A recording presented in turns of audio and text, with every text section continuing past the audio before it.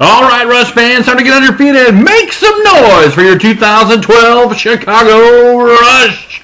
Let's meet tonight's defensive starters. Out of Kansas State University, defensive lineman number 95, Jeffrey Fitzgerald. At linebacker, from Clemson, number 37, Kelvin Morris. In the secondary, defensive back number 3 from Kent State University, Brian Lainhart. Also in the secondary, number 21 out of Illinois State, Kelvin Hemphill. And anchoring the defense, out of South Carolina State University, number 22, Samaj Moody.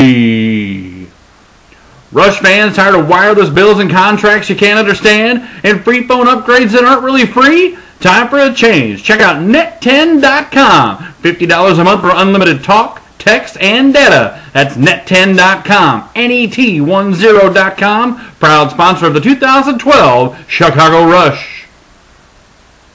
Mickton looks over the defense. He drops back, looks to pass, scrambles out of the pocket, rolls out to his right, looking, looking, fires over the middle. Caught! Caught! Touchdown, Chicago Rush!